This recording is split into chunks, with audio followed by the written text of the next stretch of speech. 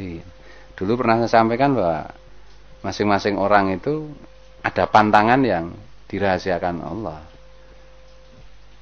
Misalnya tiar, kalau tiar itu mau berbuat ini sedikit aja, oleh Allah ditetapkan masuk surga.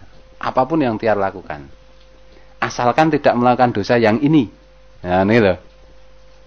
Nah, itu untuk ini tadi, perbuatan baik ini dan perbuatan buruk ini untuk tiar itu berbeda untuk parman, berbeda untuk rama, berbeda untuk yang lain-lain. Masing-masing orang itu berbeda dan kita tidak tahu.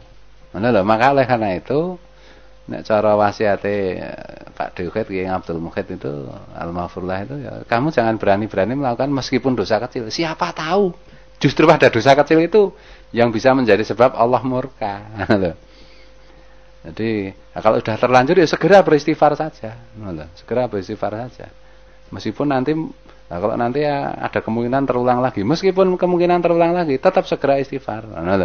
Karena kewajiban hamba itu kalau terlanjur berbuat dosa, segera istighfar. Udah titik. Tapi kalau sebelum melakukan pikir sejuta kali, siapa tahu. Justru satu dosa kecil itu yang yang bisa menjadi naudzubillah dari menjadi sebab murkanya Allah. Dan jangan juga remehkan ibadah-ibadah yang kecil karena siapa tahu ibadah yang remeh yang kecil itu justru menjadi titik letak ridhonya Allah untuk kita. Mana loh? Ibadah kecil ke apa ya? Motongi kuku di hari Jumat misalnya ini loh.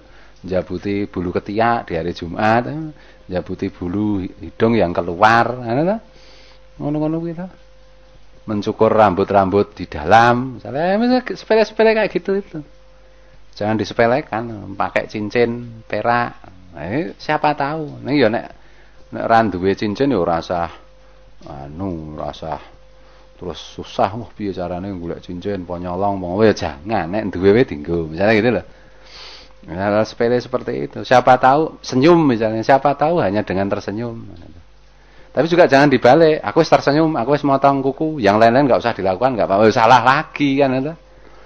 Jadi agama itu pokoknya jangan mementingkan diri sendiri. Ya loh, intinya kan isar lah, mementingkan orang lain dan jangan merasa telah berbuat apa berbuat baik.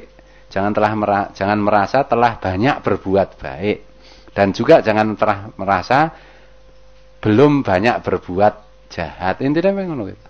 Jangan merasa telah banyak berbuat baik. berbuat baik itu jangan telah merasa sudah banyak. Jangan pernah banyak udah merasa banyak udah keliru. Yang kedua jangan merasa baru sedikit berbuat maksiat. Nah, itu, itu ya keliru lagi. Aku sidik oh maksiat. Jangan. Jangan telah merasa menjadi orang yang benar-benar baik. Hanya belajar menjadi baik.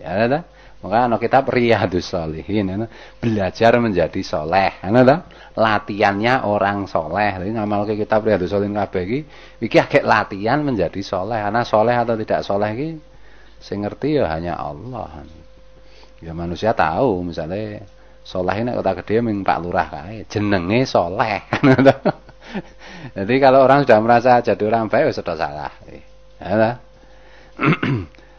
nah, terus Jangan mencari keuntungan pribadi dalam urusan agama itu. Jangan menggunakan dalil yang menguntungkan diri sendiri apa jenenge dan tidak mau menggunakan dalil yang berkaitan dengan kewajiban. Jangan mendahulukan hak daripada kewajiban zaman SD mbiyen diajari guruku. Jangan mendahulukan hak daripada kewajiban.